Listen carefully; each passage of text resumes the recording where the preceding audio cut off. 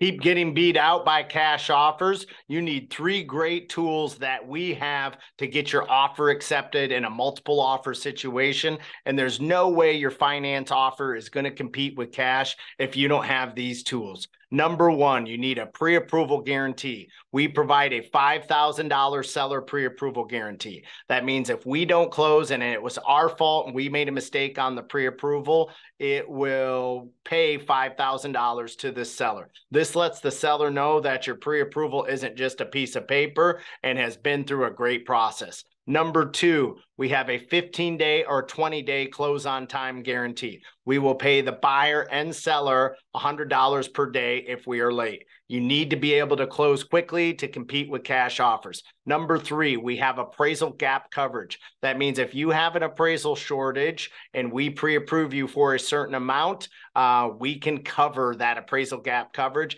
instead of you coming out of pocket or the seller worrying that you're going to cancel the transaction. These are the three tools that you need to win in a multiple offer situation. And most lenders don't have them, but we do.